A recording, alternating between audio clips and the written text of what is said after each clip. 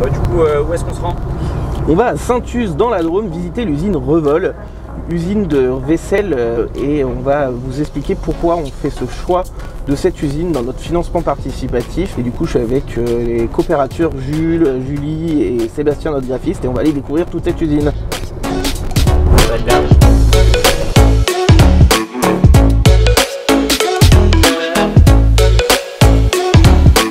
Bonjour,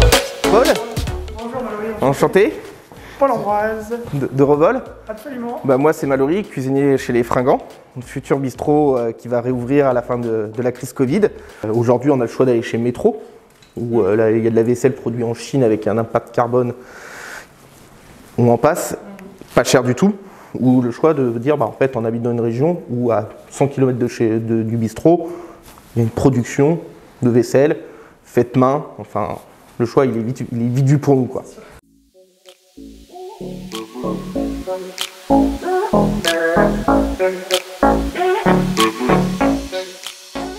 Euh, on a connu une époque, il y a une, une trentaine d'années, où en fait le, le- les quotas euh, ont été ouverts à la Chine et euh, ont déboulé sur le marché euh, européen des containers et des containers euh, de produits euh, made in China et, et qui en fait étaient des copies euh, des produits qui étaient les, les produits les plus utilisés euh, dans le monde de la restauration notamment. Alors c'est le pichet flammé, mais c'est aussi la soupière tête de lion, le ramequin euh, euh, pour faire les soufflets, ce genre de choses.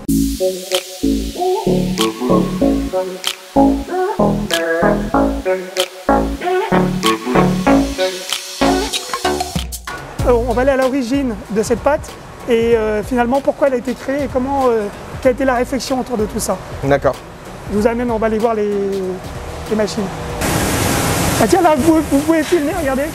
C'est intéressant, c'est le nettoyage des machines.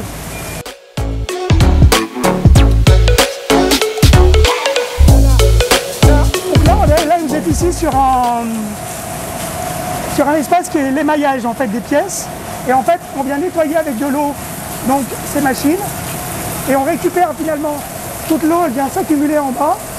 Elle est chargée en minéraux, elle arrive dans ces canaux.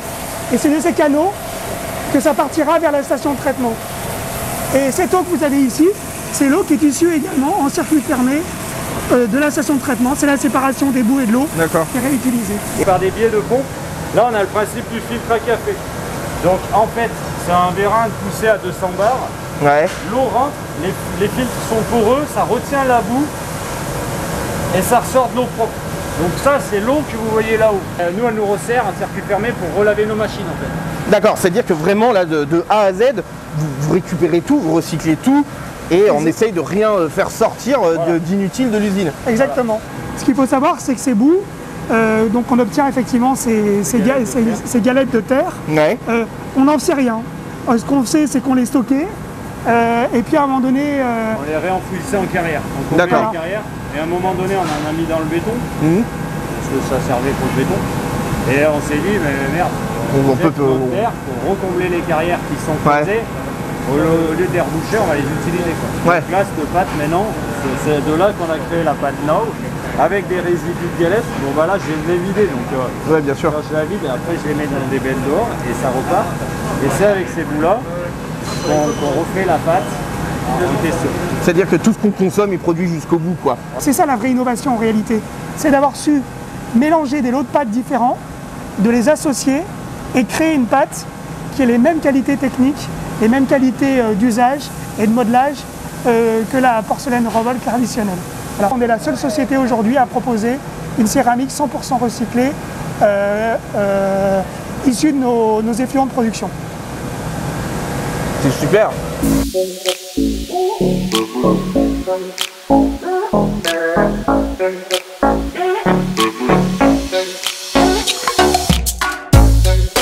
Ça, c'est vraiment ce qu'on appelle le coulage traditionnel. D'accord.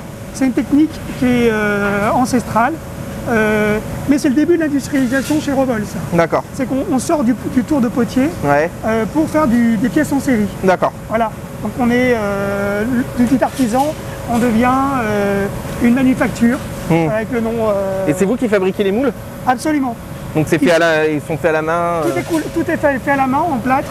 On est totalement indépendant du début à la fin chez Revol. en toute autonomie.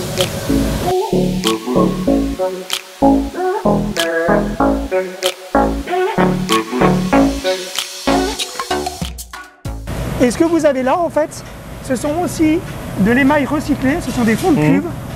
Pourquoi on a le bleu et le blanc aujourd'hui qui est proposé dans la gamme C'est que ce sont les deux couleurs les plus utilisées en usine aujourd'hui et pour lesquelles on a des fonds de cuve qui historiquement repartaient aussi euh, dans la station de traitement. Là, et donc aujourd'hui on- la garde pour pouvoir être totalement dans cette logique justement aussi de circuit fermé et de rien jeter.